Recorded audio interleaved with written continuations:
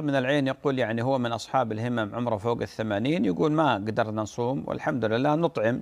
يقول نخرج كفارة عن كل يوم من أيام رمضان.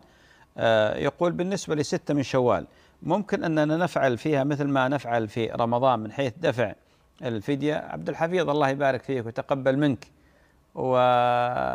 ويزيدك حرص. لا بالنسبة لصيام السنة ما يصوم ما يطعم الإنسان بدل الصيام. لأن الصوم الواجب الذي فرضه الله عز وجل على كل مسلم مكلف إذا لم يستطعه الإنسان انتقل إلى البدل. أما صوم السنة فلا لأن صوم السنة ليس مطلوب على جهة الحتم والفرض والإلزام لا مطلوب على جهة الاستحباب. مطلوب على جهة الاستحباب. فاللي ما يستطيع صيام ستة من شوال وكان يصوم قبل كان مواظب على الصيام قبل أو أنه نية طيبة ويتمنى يكتب الله له الأجر إن شاء الله. فالأجر مكتوب بحول الله وقوته.